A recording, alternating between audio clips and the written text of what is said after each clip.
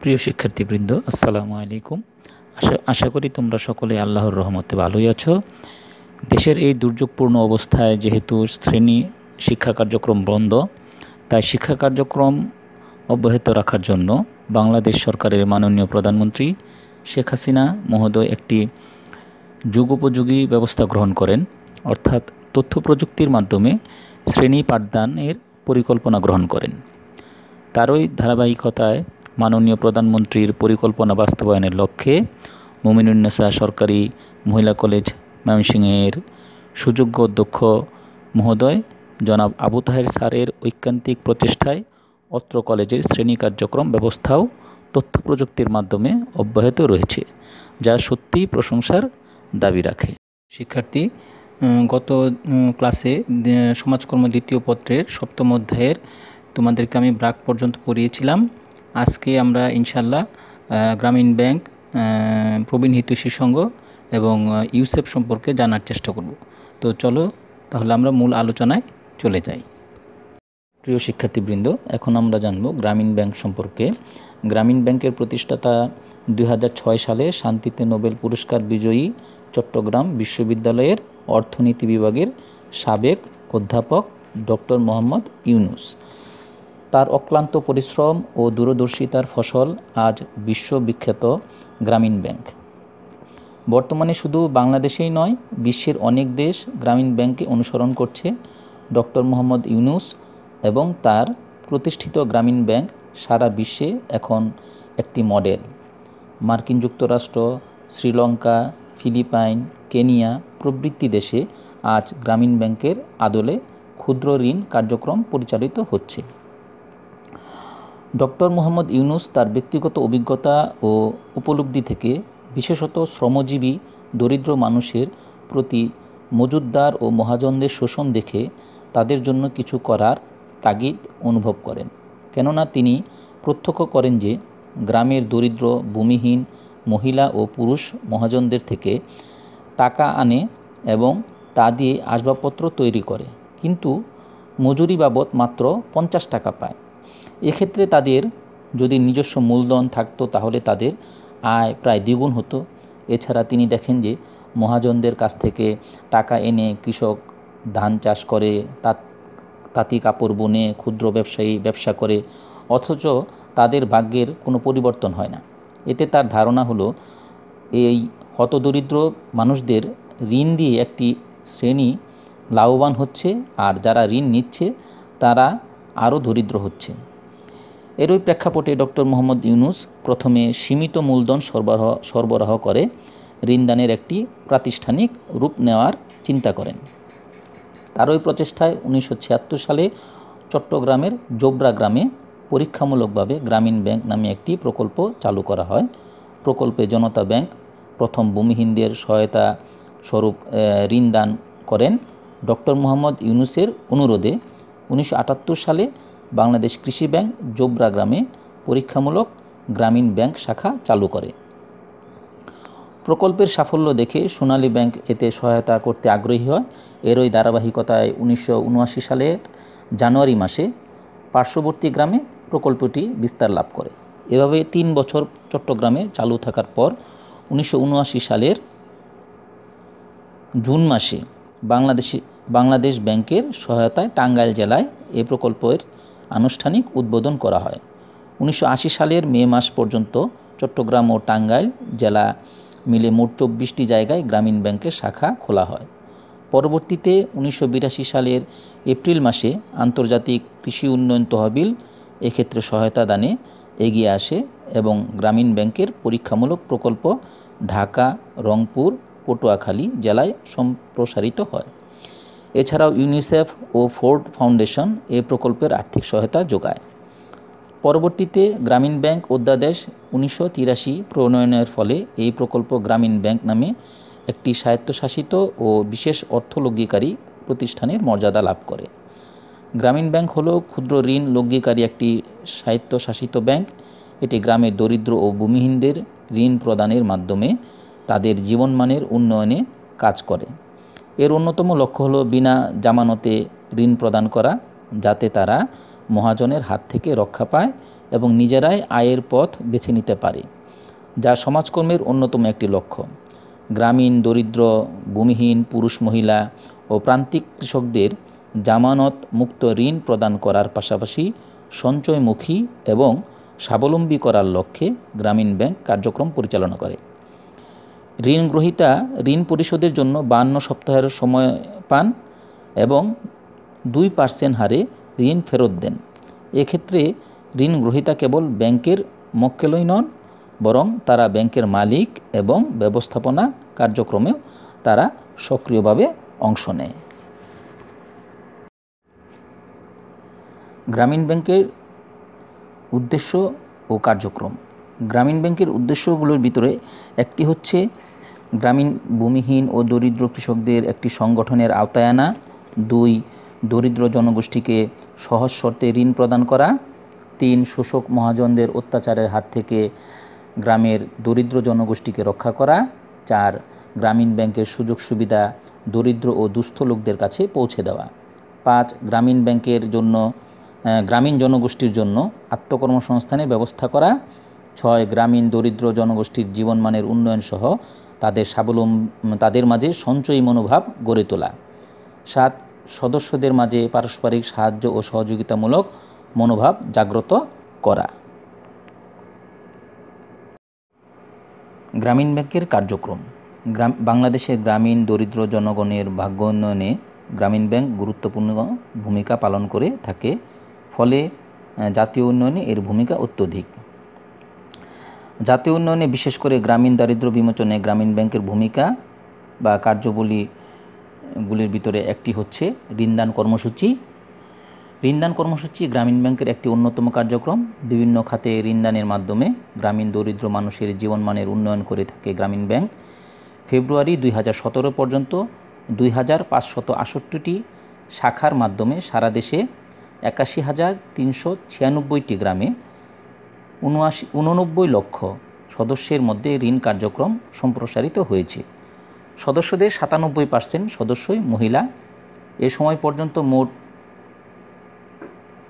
এক লক্ষ পঁয়তাল্লিশ হাজার চারশো সাতত্রিশ কোটি টাকা ঋণ বিতরণ করা হয়েছে এবং বিতরণকৃত ঋণের বিপরীতে এক লক্ষ তেত্রিশ হাজার একশো একশত আটান্ন কোটি টাকা আদায় করা হয়েছে। গৃহ নির্মাণ কার্যক্রম। উনিশশো চুরাশি সালে গৃহ নির্মাণ কর্মসূচি চালু করা হয় এবং উনিশশো সাতাশি সালে এ প্রকল্পের চাহিদা ব্যাপক হারে বেড়ে যায়। ঋণের টাকা দিয়ে সিমেন্টের পিলার, পিলারের উপর টিনের তৈরি এ ঘর বন্যা মোকাবেলায় উপযোগী। এ ঘর তৈরির ব্যাপকতার কারণে ঋণের পরিমাণ অনেক বেড়ে যায়। পাঁচ বছরের মধ্যে পরিশোধের শর্তে আট পার্সেন্ট সুদের ভিত্তিতে সদস্যরা পনেরো হাজার টাকা পর্যন্ত গৃহঋণ পেয়ে থাকে। কর্মসংস্থান প্রকল্প। গ্রামীণ জনগোষ্ঠীর কর্মসংস্থান সৃষ্টিতে গ্রামীণ ব্যাংক বিশেষ কর্মসূচি হাতে নেয়। স্বকর্মসংস্থান, কুটির শিল্প, প্রশিক্ষণ, প্রক্রিয়াজাতকরণ প্রবৃত্তি গুরুত্বপূর্ণ খাতের মাধ্যমে গ্রামের দরিদ্র মানুষের কর্মসংস্থানের ব্যবস্থা করে থাকে। জয় সাগর মাছ প্রকল্প। গ্রামীণ ব্যাংকের নিজস্ব মৎস্য প্রকল্প রয়েছে। উনিশশো ছিয়াশি সালে পাবনা ও সিরাজগঞ্জ জেলার চারটি থানায় এ প্রকল্পের কার্যক্রম শুরু করে এবং ওই বছরই মাছ বিক্রি করে ব্যাংক দশ লক্ষ টাকা আয় করে। দানকল স্থাপন, অক্ষম দরিদ্র মহিলাদেরকে আত্মকর্মসংস্থানে সহায়তা দানের লক্ষ্যে ধানকল স্থাপন প্রকল্প গ্রহণ করা হয়। এটি গ্রামের মহিলাদের স্বাবলম্বী করার একটি অন্যতম কার্যক্রম।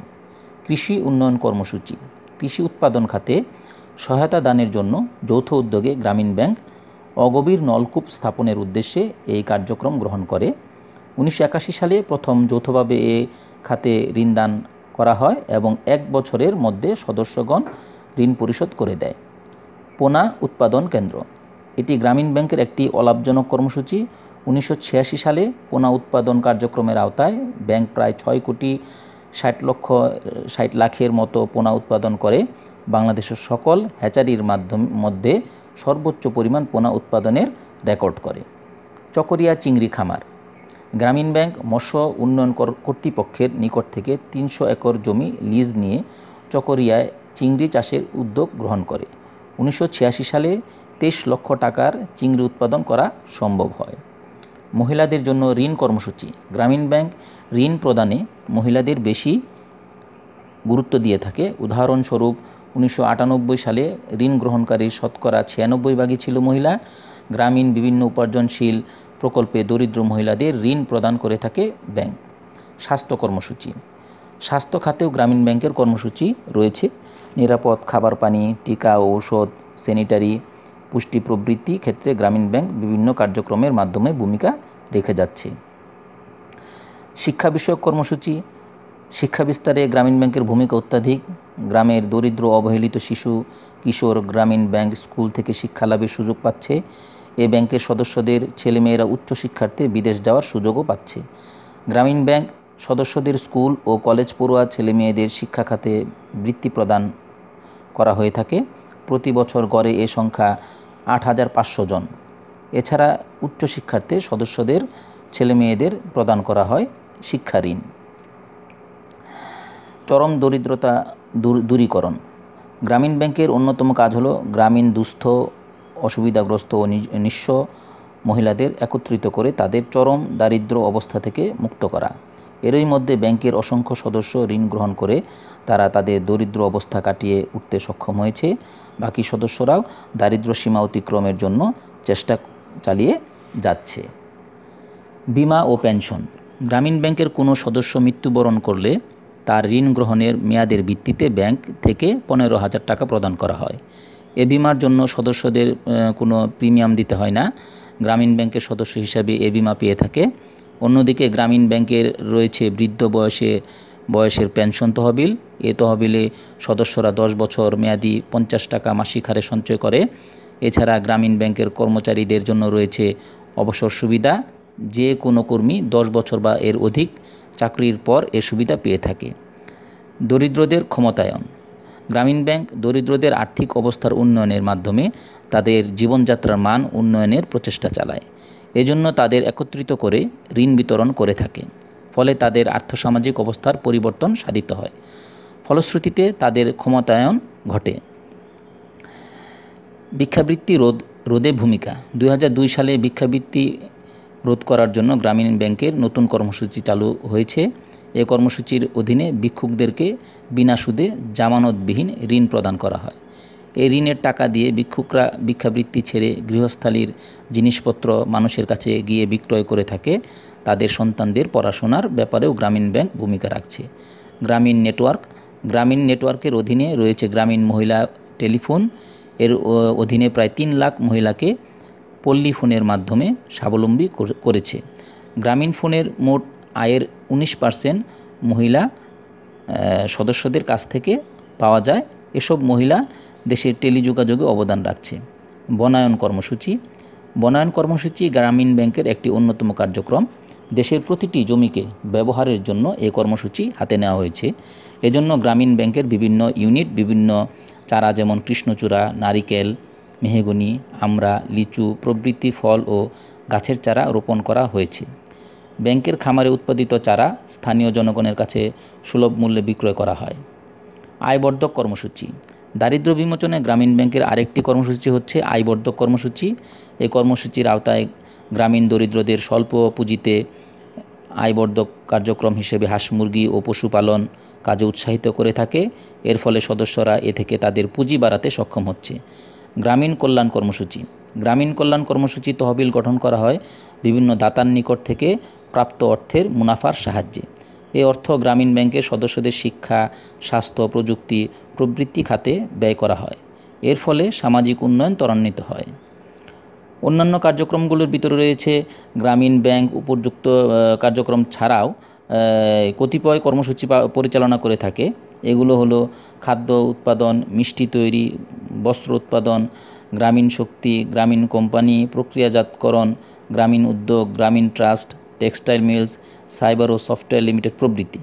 গ্রামের দরিদ্র ও ভূমিহীন জনগোষ্ঠীর আর্থসামাজিক উন্নয়নে গ্রামীণ ব্যাংকের ভূমিকা অতুলনীয়। মাত্র দুই দশকের ব্যবধানে গ্রামীণ ব্যাংক সমগ্র বিশ্বে পরিচিতি লাভ করেছে। এটি এদেশের দরিদ্র মানুষের উন্নয়নে আলোকবর্তিকা হিসেবেও হিসেবে আজও কাজ করে যাচ্ছে।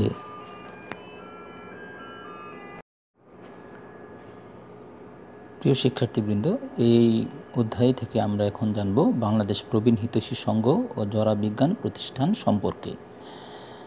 শিল্প বিপ্লবোত্তর আধুনিক সমাজে মানুষকে নানা প্রতিকূলতায় টিকে থাকার জন্য লড়াই করতে হচ্ছে। মানুষ শহর থেকে গ্রামে নিজ দেশ থেকে অন্য দেশে ক্রমাগত স্থানান্তরিত হচ্ছে।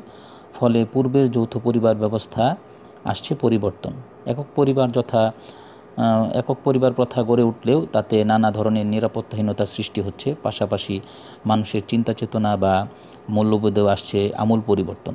প্রবীণরা অনেকটা শিশুর মতো অন্যের উপর নির্ভরশীল। সারা জীবন অন্যের দায়িত্ব বহন করা ব্যক্তি আজ বয়স ও শারীরিক অসামর্থ্যের কারণে অন্যের সাহায্য সহযোগিতার উপর নির্ভরশীল। দিন দিন তাদের জন্য পরিবার থেকে এ সাহায্য সহযোগিতা হ্রাস পাচ্ছে, ফলে তাদের জন্য তৈরি হচ্ছে পৃথক আবাসন। একে আমরা বিভিন্নভাবে অভিহিত করে থাকি, যেমন বৃদ্ধ নিবাস, বৃদ্ধাশ্রম, প্রবীণ নিবাস ইত্যাদি। এখানে স্বল্প অর্থের বিনিময়ে বা বিনামূল্যে আশ্রয়হীন বা রূঢ় বাস্তবতার শিকার প্রবীণ ব্যক্তিরা জীবনযাপন করেন। সারা বিশ্বের মতো বাংলাদেশের, আমাদের দেশে স্বল্পমাত্রা হলেও দিন দিন এর আবেদন বাড়ছে। বেসরকারি পর্যায়ে বাংলাদেশের প্রবীণদের নিয়ে সর্বপ্রথম যিনি চিন্তা করেন, তিনি হলেন doctor A K M Abdul Wahed. তার ঐকান্তিক প্রচেষ্টায় প্রচেষ্টা ও নিরলস পরিশ্রমের ফসল আজকের বাংলাদেশ প্রবীণ হিতৈষী সংঘ ও জরা বিজ্ঞান প্রতিষ্ঠান। উনিশশো নব্বই সালে দশ এপ্রিল তিনি তার নিজ বাসভবনে একটি বাসভবনের একটি কক্ষে প্রবীণদের সেবা ও সহযোগিতার জন্য তৎকালীন পূর্ব পাকিস্তান প্রবীণ সোসাইটি নামে একটি সেবামূলক প্রতিষ্ঠানের গোড়াপত্তন করেন। এর প্রথম সভাপতি ছিলেন বিচারপতি আব্দুল জব্বার। প্রতিষ্ঠানটির বর্তমান অবস্থান আগারগাঁও শেরেবাংলা নগর ঢাকা। বাংলাদেশের প্রবীণদের নিয়ে কার্যত অগ্রণী প্রতিষ্ঠান হলো বাংলাদেশ প্রবীণ হিতৈষী সংঘ ও জরা বিজ্ঞান প্রতিষ্ঠান। এটি অলাভজনক স্বেচ্ছাসেবী প্রতিষ্ঠান হিসেবে কাজ করছে। প্রতিষ্ঠা লগ্ন থেকে প্রতিষ্ঠানটি এদেশের প্রবীণদের জন্য সীমিত পরিসরে সর্বাত্মক কর্মসূচি পরিচালনা করে আসছে। আন্তর্জাতিকভাবে এটি International Federation of Ageing IFA এর পূর্ণাঙ্গ সদস্য।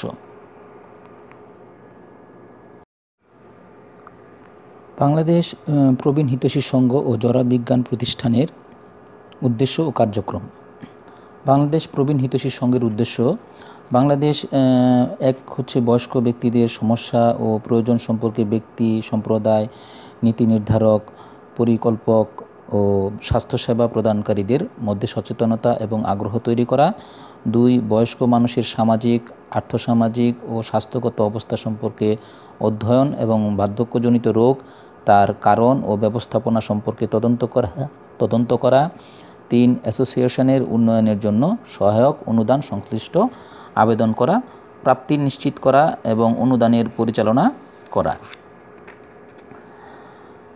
চার, শহর ও গ্রামাঞ্চলে অভাবগ্রস্ত এবং বয়স্ক ব্যক্তিদের জন্য কর্মসংস্থান তৈরি করা, সেই সাথে আয়ের সুযোগ প্রদানের জন্য উৎপাদন সংশ্লিষ্ট কার্যক্রম সংগঠিত করা।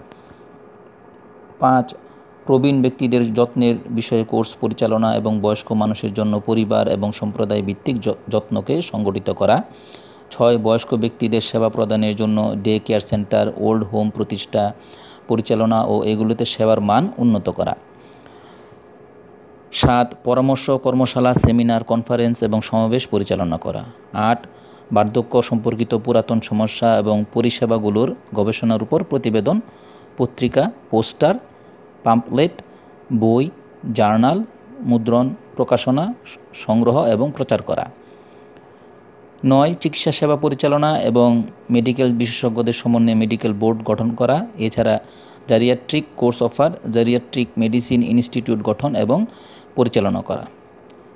দশ, বয়স্কদের সমস্যা ও সেবা নিয়ে আগ্রহী এরকম জাতীয় আন্তর্জাতিক সরকারি ও বেসরকারি সংস্থার কার্যক্রমে সহযোগিতা করা।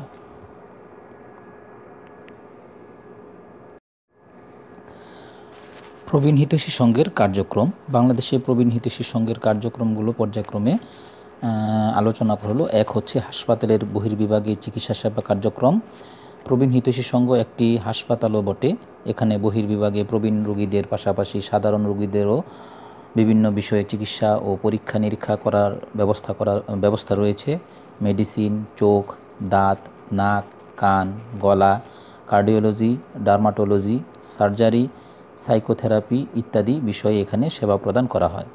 এছাড়া প্রায় সকল প্রকার ultrasonogram X ray ECG echo, colour Doppler এবং নানা ধরনের প্যাথোলজিক্যাল পরীক্ষা নিরীক্ষা করা হয়। এখানে অসচ্ছল বয়স্ক ব্যক্তিদের বিনামূল্যে ওষুধ সরবরাহ করা হয়। হাসপাতালের আবাসিক সেবাসমূহ। প্রবীণ হিতৈষীর সঙ্গে পঞ্চাশ সজ্জার চারতলা বিশিষ্ট একটি আবাসিক হাসপাতাল রয়েছে। অভিজ্ঞ ডাক্তার ও প্রশিক্ষণপ্রাপ্ত নার্সদের সার্বক্ষণিক তত্ত্বাবধানে তাদের চিকিৎসা প্রদান করা হয়। হাসপাতালে দুটি অ্যাম্বুলেন্স রয়েছে, যা প্রবীণ রোগীদের যাতায়াতে ব্যবহৃত হয়ে থাকে। এছাড়া সার্বক্ষণিক বিদ্যুৎ সেবা সচল রাখার জন্য একশো কেবি বৈদ্যুতিক জেনারেটর রয়েছে। হাসপাতালে রোগীরা সাধারণ শয্যা ও কেবিনে চিকিৎসা গ্রহণ করে, গ্রহণ করতে পারে। বৃদ্ধ নিবাস। প্রবীণদের আবাসন সুবিধা দেওয়ার জন্য ছয়তলা বিশিষ্ট একটি বৃদ্ধ নিবাস ইতিমধ্যে তৈরি হয়েছে। এখানে পঞ্চাশ জন প্রবীণের থাকার ব্যবস্থা, থাকা খাওয়ার ব্যবস্থা রয়েছে। এখানে পানি বিশুদ্ধকরণের সুবিধা, একটি নামাজের ঘর, একটি লাইব্রেরি, যেখানে প্রবীণ সংশ্লিষ্ট পুস্তকসহ নানা ধরনের জার্নাল রয়েছে। এছাড়াও বিনোদনের জন্য রয়েছে নানা ব্যবস্থা, যেমন বিভিন্ন পত্রিকা, টিভি ইত্যাদি। Satellite clinic. যে সমস্ত প্রবীণ বিভিন্ন কারণে প্রবীণ নিবাসে আসতে পারে না। তাদের জন্য উনিশশো সাতানব্বই সাল থেকে ঢাকা মহানগরীতে ছয়টি স্থানে এই ক্লিনিকের শাখা চালু করা হয়েছে। এখানে প্রতি সপ্তাহে নিজস্ব চিকিৎসকদের ব্যবস্থাপত্র সহ গরিব রোগীদের ওষুধ সরবরাহ করা হয়। উল্লেখ্য, বর্তমানে কার্যক্রমটি বন্ধ রয়েছে। চিত্তবিনোদন প্রতিষ্ঠানটি চিত্তবিনোদন চিত্তবিনোদন প্রতিষ্ঠানটি নিয়মিতভাবে ওপেন হাউস, ঈদ, পূর্ণমিলনী, বনভোজন বনভোজন, মিলাদ, মাহফিল, সাংস্কৃতিক ও ক্রীড়া অনুষ্ঠানের পাশাপাশি বিভিন্ন আন্তর্জাতিক দিবসে যেমন বিশ্ব প্রবীণ দিবস, নারী দিবস ইত্যাদি পালন করে থাকে। বিভাগীয় পর্যায়ে স্বাস্থ্যসেবা, ঢাকা ছাড়াও আরও পাঁচটি বিভাগীয় শহরে রাজশাহী, চট্টগ্রাম, খুলনা, বরিশাল, সিলেটে এই সংস্থার শাখা আছে। এছাড়া সারা দেশে চুয়ান্নটি জেলায় প্রতিষ্ঠিত শাখার মাধ্যমে নানা ধরনের চিকিৎসা সুবিধাসহ উপার্জনধর্মী ও কল্যাণমূলক কর্মসূচি পরিচালনা করছে। প্রশিক্ষণ, সেমিনার, ওয়ার্কশপ, গবেষণা ও প্রকাশনা। প্রবীণদের স্বাস্থ্য, কল্যাণ, সংগঠন ইত্যাদি বিষয়ে বিভিন্ন স্তরের মানুষকে অবহিত, সচেতন উদ্যোগী ও সক্ষম করার লক্ষ্যে প্রতিষ্ঠানটি দীর্ঘদিন ধরে নানা ধরনের প্রশিক্ষণ, সেমিনার, ওয়ার্কশপ ইত্যাদির আয়োজন করে আসছে। প্রতিষ্ঠানটির সবচেয়ে গুরুত্বপূর্ণ প্রকাশনা হলো প্রবীণ হিতৈষী পত্রিকা। যা প্রতি বছর অক্টোবরে বের হয়, সেখানে কেবল প্রবীণদের নিয়ে বিভিন্ন প্রবন্ধ, গবেষণামূলক তথ্য, কবিতা ইত্যাদি স্থান পায়। পাঠাগার, এখানে একটি সমৃদ্ধ পাঠাগার রয়েছে, যেখানে প্রবীণ সংশ্লিষ্ট পুস্তক, জার্নাল, পত্রিকা ছাড়াও ধর্মীয় বই, মনীষীদের জীবনী, মুক্তিযুদ্ধের ইতিহাস, বিখ্যাত লেখকদের রচনাবলী সহ বিভিন্ন সাময়িকী রয়েছে। যৌথ শিক্ষা কার্যক্রম বর্তমানে বিভিন্ন বিশ্ববিদ্যালয় ও কলেজের সমাজকর্মী বা সমাজ কল্যাণের ছাত্রছাত্রীদের তাদের পেশাগত পরিচিতি ও প্রশিক্ষণ গ্রহণের উদ্দেশ্যে এ প্রতিষ্ঠানে প্রেরণ করা হয়। এর ফলে শিক্ষার্থীরা প্রবীণদের আর্থসামাজিক, মানসিক ও স্বাস্থ্য সম্পর্কে বাস্তবসম্মত জ্ঞান অর্জন করার সুযোগ পায়। এছাড়া এমবিবিএস ডাক্তাররাও এখানে প্রবীণের স্বাস্থ্য বিষয়ে ট্রেনিং নিয়ে থাকে। উল্লেখ্য, বর্তমানে প্রতিষ্ঠানটি প্রবীণ বিষয়ে একটি ডিপ্লোমা কোর্স চালু করেছে। এছাড়াও প্রবীণ কল্যাণে পরিচালিত কার্যক্রমগুলোর মধ্যে প্রবীণ সেবা পুরস্কার, মমতাময়ী মমতাময় ও মমতাময়ী প্রদান উল্লেখযোগ্য। প্রিয় শিক্ষার্থীবৃন্দ, এখন আমরা জানব ইউসেফ সম্পর্কে। ইউসেফের পরিপূর্ণ রূপ হচ্ছে under privileged children's educational programs. এই নামটির সাথে জড়িয়ে আছে সেবা এবং কল্যাণবঞ্চিত শিশুদের ভাগ্য উন্নয়নের একটি নিরবিচ্ছিন্ন প্রচেষ্টা। বাংলাদেশের বিভিন্ন শহরে ছড়িয়ে ছিটিয়ে থাকা অবহেলিত ও সুবিধা বঞ্চিত শিশু তথা কিশোর কিশোরীর ভাগ্য উন্নয়নের লক্ষ্যে প্রতিষ্ঠানটি প্রতিষ্ঠিত হয়। ঢাকা বিশ্ববিদ্যালয়ের সমাজ কল্যাণ ও গবেষণা ইনস্টিটিউটের স্বনামধন্য অধ্যাপক ডক্টর আহমদুল্লাহ মিয়া বাংলাদেশের শহর এলাকার দারিদ্রপীড়িত শ্রমজীবী শিশুদের নিয়ে study on children labour in Dhaka city শিরোনামে একটি গবেষণা করেছিলেন। সেটি প্রকাশিত হওয়ার পর নিউজিল্যান্ডের সমাজসেবক মিস্টার লিন্ডসে অ্যালেন চেইনি এর নজরে আসে। তিনি তখন বাংলাদেশের যুদ্ধোত্তর ত্রাণ পুনর্বাসন কাজে নিয়োজিত ছিলেন। তিনি অধ্যাপক আহমদুল্লাহ আহমদুল্লাহ মিয়ার গবেষণা রিপোর্টের সুপারিশসমূহ বাস্তবায়নের উদ্যোগ নেন। তার অক্লান্ত পরিশ্রম ও ঐকান্তিক প্রচেষ্টায় উনিশশো বাহাত্তর সালে একটি পাইলট প্রজেক্ট হিসেবে ইউসেফ যাত্রা শুরু করে। প্রথমত ইউসেফ কমিউনিটি স্কুলের মডেল অনুযায়ী বস্তি ও রাস্তাঘাটে ভাসমান কর্মজীবী শিশুদের জন্য বিকল্প শিক্ষা প্রতিষ্ঠান হিসেবে কার্যক্রম শুরু করে। কার্যক্রম শুরুর সাথে সাথেই এটি ব্যাপক সাফল্য অর্জন করে। সাধারণ শিক্ষার পাশাপাশি ইউসেফ উনিশশো তিরাশি সালে সর্বপ্রথম একটি কারিগরি বিশ্ববিদ্যালয় কারিগরি বিদ্যালয় স্থাপন করে। বর্তমানে বাংলাদেশের বেশিরভাগ বিভাগীয় শহরে ইউসেফ তার কার্যক্রমের বিস্তার ঘটিয়েছে। উনিশশো ষাট সালের সমাজসেবা অর্ডিন্যান্স এর অধীনে ইউসেফ নিবন্ধন লাভ করে। উনিশশো অষ্টআশি সালে এটি জাতীয় এনজিও হিসেবে নিবন্ধিত হয়। ইউসেফ এর উন্নয়নমূলক কার্যক্রমে Save the Children, UK Aid এবং কিংডম অফ দ্য নেদারল্যান্ডস অংশগ্রহণ করে করে। দু হাজার তেরো সালের তথ্য অনুসারে ষাটটি বিভাগীয় শহর এবং গাজীপুর জেলায় অবস্থিত একটি সহ ইউসেফ পরিচালিত তেষট্টিটি ইনস্টিটিউশনে মোট সাতচল্লিশ হাজার শিশু অধ্যয়ন করছে। ইউসেফ বাংলাদেশের উদ্দেশ্য ও কার্যক্রম। ইউসেফ সাধারণত শিক্ষা, কারিগরি প্রশিক্ষণ ও কর্মসংস্থান কর্মসূচির মাধ্যমে অনগ্রসর, বঞ্চিত কর্মজীবী শিশুদের একটি অংশকে উৎপাদনশীল মানব সম্পদে রূপান্তরিত করার লক্ষ্যে নিম্নোক্ত উদ্দেশ্য নিয়ে কাজ করে থাকে।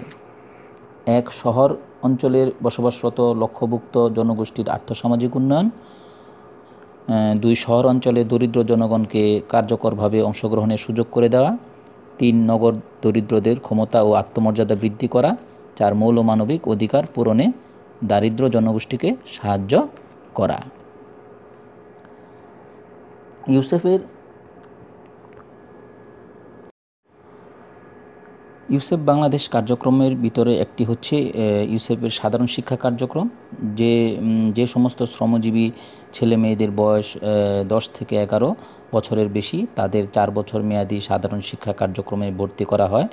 সাধারণ শিক্ষা পাঠ্যক্রমকে শ্রমজীবী ছেলে মেয়েদের জীবন উপযোগী করার জন্য বাংলাদেশ সরকার কর্তৃক অনুমোদিত পাঠ্যসূচিকে একটু ভিন্ন আঙ্গিকে সাজানো হয়। প্রশিক্ষণপ্রাপ্ত শিক্ষকের মাধ্যমে নিজস্ব স্কুল ভবনে তাদের শিক্ষা দেওয়া হয়। বর্তমানে ঢাকা, রাজশাহী, চট্টগ্রাম, খুলনা, সিলেট, রংপুর, বরিশাল এবং গাজীপুর সহ মোট দশটি জেলায় তিপ্পান্নটি সমন্বিত সাধারণ এবং ভোকেশনাল স্কুলে প্রায় পঞ্চান্ন হাজার জন ছাত্রছাত্রী লেখাপড়া করছে। স্কুলের একটি কিছু বৈশিষ্ট্য রয়েছে। ছেলে মেয়েদের কাজের কথা চিন্তা করে স্কুলসমূহ দৈনিক তিনটি শিফটে পরিচালিত হয়। সময়কাল প্রতি শিফটে দুই ঘণ্টা ত্রিশ মিনিট, মাত্র চার বছরে একজন ছাত্রছাত্রী অষ্টম শ্রেণি পর্যন্ত লেখাপড়া শেষ করে। উল্লেখ্য, ইউসেফ স্কুলের সেশন চার থেকে ছয় মাসের। শিক্ষক ও ছাত্রছাত্রীর অনুপাত এক, অনুপাত ত্রিশ। ইউসেফ এর স্কুলে উপস্থিতির হার নব্বই দশমিক তিন পার্সেন্ট, ঝরে পড়ার হার চার দশমিক নয় চার পার্সেন্ট। জানুয়ারি দুই হাজার চোদ্দ থেকে ডিসেম্বরে দুই পর্যন্ত দশটি টেকনিক্যাল স্কুলে মোট তেরো হাজার তিনশো এক জন ছাত্রছাত্রী ভর্তি হয়। ছাত্রছাত্রীর অনুপাত ষাট অনুপাত চল্লিশ। ঝরে পড়ার হার এক দশমিক পাঁচ পার্সেন্ট। এসব স্কুলে প্রতিদিন দুই শিফটে স্কুল চলে। প্রতি শিফটের সময় চার ঘণ্টা বিশ মিনিট। স্কুলগুলোতে শিক্ষার্থীদের ব্যবহারিক শিক্ষার উপর বেশি গুরুত্ব দেওয়া হয়। ইউসিফের টেকনিক্যাল ট্রেনিং কার্যক্রম। শ্রমজীবী বালক বালিকাদের বিভিন্ন বৃত্তিমূলক প্রশিক্ষণের মাধ্যমে দক্ষ মানব শক্তি হিসেবে গড়ে তোলা, বিভিন্ন পেশায় দক্ষ কারিগর হিসেবে নিয়োজিত করা এবং তারা যাতে নিজের এবং পরিবারের আর্থসামাজিক অবস্থার পরিবর্তন আনতে পারে, এ লক্ষ্যে ইউসেফ তার কার্যক্রম পরিচালনা করে। সাধারণ স্কুলে সাড়ে চার বছর সাধারণ শিক্ষা শেষ করার পর তার ভিত্তিতে উল্লেখযোগ্য সংখ্যক ছাত্রছাত্রীদের কারিগরি কারিগরি স্কুলে ভর্তি করা হয়। এই লক্ষ্য অর্জনে ইউসেফ ঢাকা, চট্টগ্রাম ও খুলনায় তিনটি কারিগরি বিদ্যালয় পরিচালনা করছে। এ সকল বিদ্যালয়ে ছয় মাস থেকে আড়াই বছর মেয়াদী বিভিন্ন ট্রেডে হাতে কলমে প্রশিক্ষণ দেওয়া হয়। ইউসেফের টেকনিক্যাল স্কুলগুলোতে নিম্নোক্ত বিষয়ে প্রশিক্ষণ দেওয়া হয়।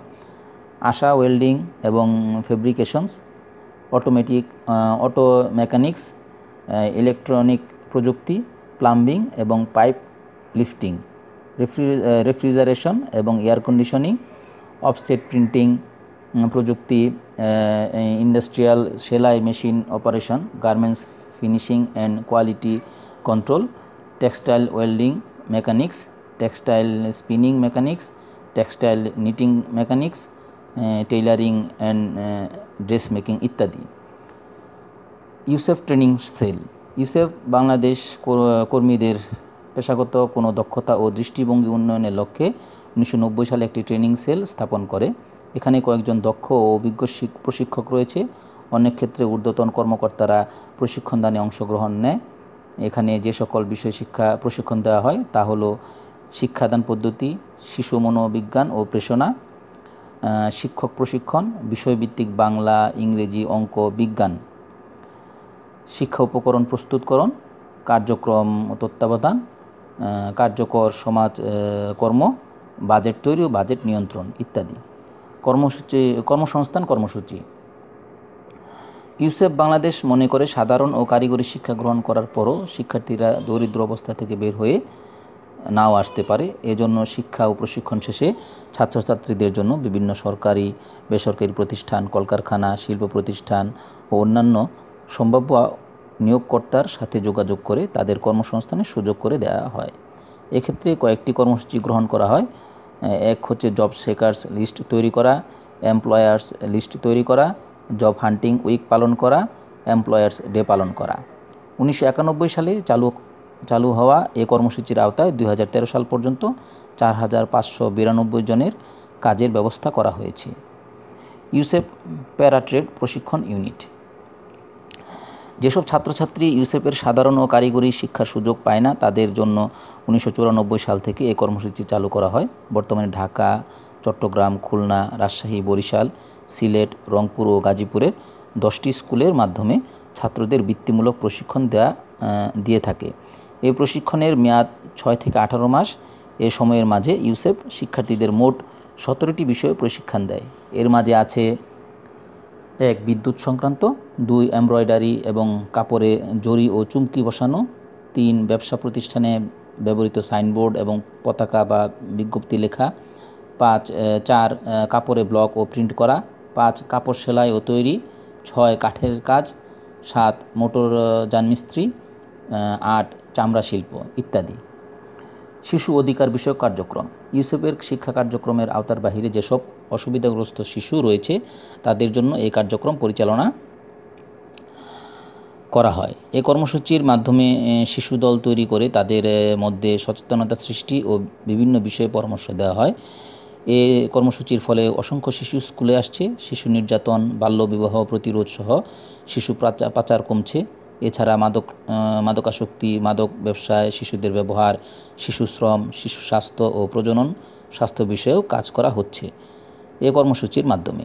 অধিকার বঞ্চিত শিশুদের যে কোনো ধরনের নির্যাতন, শোষণ, বঞ্চনা ও বৈষম্যমূলক আচরণের বিরুদ্ধে শিশুদের সোচ্চার করে তোলার উদ্দেশ্যে দু হাজার চার সাল থেকে লেট চিলড্রেন টক নামে প্রকল্প বাস্তবায়ন করছে। ইউসেফ কর্মসূচি তাদের কর্মসূচির মাধ্যমে মানব সম্পদ উন্নয়নের একটি কৌশল। প্রস্তাবের প্রচেষ্টা চালায়। মডেলটি, এই ইউসেফের সমন্বিত মডেলটি নিম্নরূপ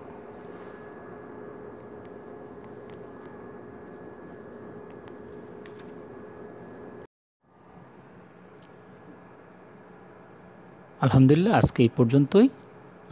পরবর্তীতে ইনশাল্লাহ তোমাদের সাথে দেখা হবে, কথা হবে ইনশাল্লাহ আর এই বিষয়ে তোমাদের কোনো সমস্যা থাকলে এই অধ্যায় সম্পর্কে, এই অধ্যায়ের আলোচনা সম্পর্কে কোনো সমস্যা থাকলে তোমরা কমেন্টসে জানাবে। ইনশাল্লাহ পরবর্তী লেকচারে ইনশাল্লাহ তার সমাধান দেওয়ার চেষ্টা করব। আল্লাহ হাফেজ।